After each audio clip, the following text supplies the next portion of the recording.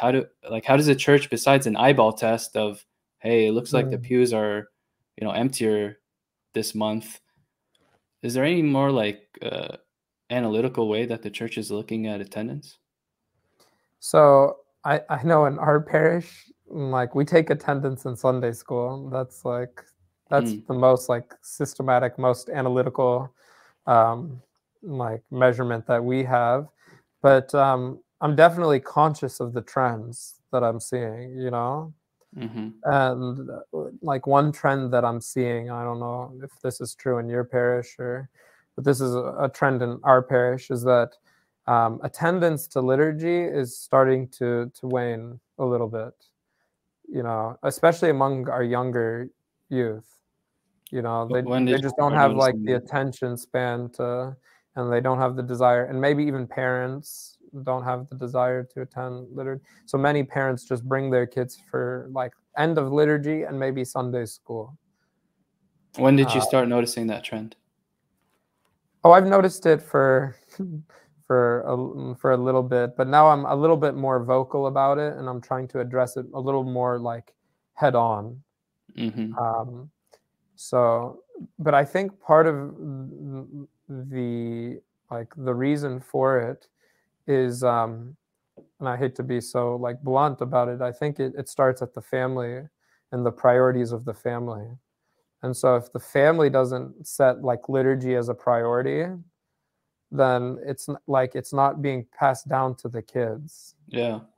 So what I um, notice is like on that point about the family and liturgy that is kind of troubling is I don't know if this happens at your parish or maybe it's an LA thing because everyone has a car, but like families don't go to liturgy as much together, like as just one unit walking in. It's like the kids will show up, the parents will show up, maybe even the kids will drive separate cars. It yeah. doesn't feel like it's like a family entering in together to worship. It's just like a bunch of individuals, you know? Yeah. Um, I think it's a little different for like, you know, depends on the family and like proximity to church, like a lot of factors there. Mm-hmm. But uh, one of the things that, I mean, like our high schoolers, they take multiple, like, if you're like, they take multiple cars to church because they want to hang out after they want to do. Right. So, okay. You know, yeah. so I, I think it's a, it's a little complicated there.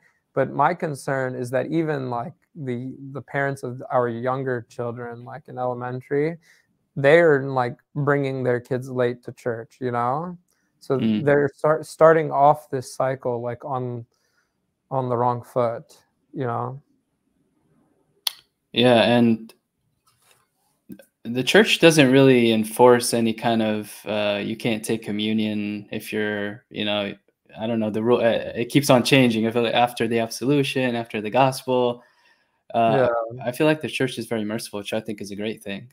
Um, but what is what is that? Is there actually like a, a canon on this, or uh, I what mean, do you think? What do you think like, should happen in that regard, or and do you think it would actually make any difference? So I, I started to enforce a rule like, and by enforce I mean if a deacon comes in past the like uh past uh, like after matins so like I I I try to ordain like the tunics like once. Like that's my goal. It's like I'm only doing one like uh, one in the name of the Father, the Son, the Holy Spirit. You can't catch this, then yeah. so anyone who comes after that, I kind of just give them like the death stare, and I just look at my watch.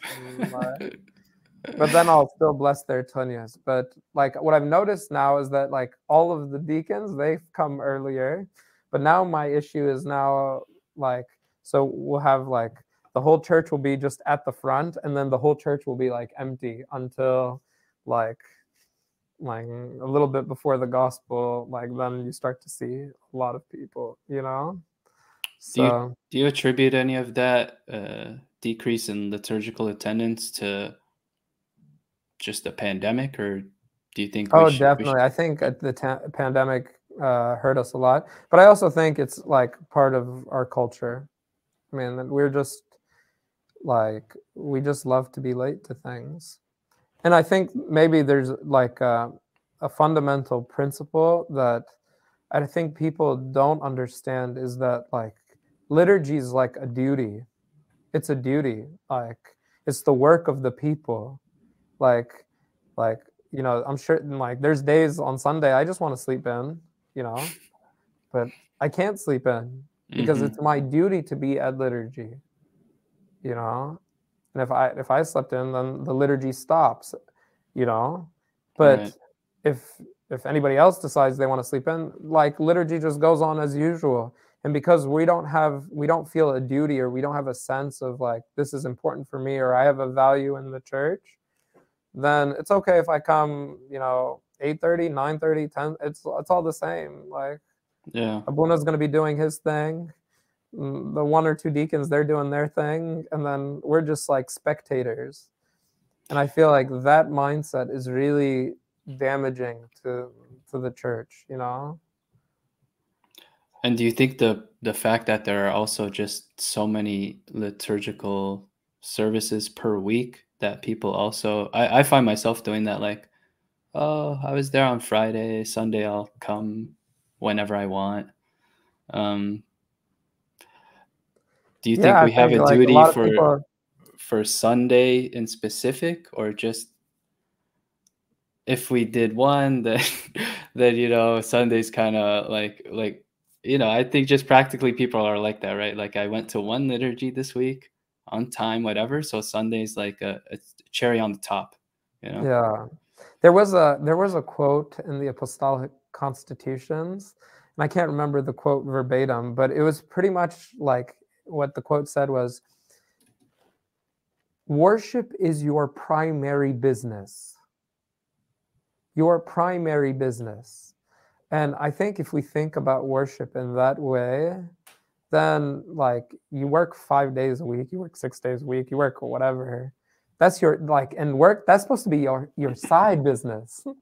Mm. That's what you're supposed to be doing. Just like worship is supposed to be your primary business. And so, like, you know, to the people that say, "Oh, I went once a week," I think that like kind of gives the impression that like, okay, like cafe alea, you know, like that's enough, yeah. for, enough for me. But mm-hmm. I feel like you like we don't have this limit with with God. You know, we shouldn't have this limit with God. Right. Well, worship is your primary business. I like that. Yeah, worship is your primary business. Remember that. mm-hmm.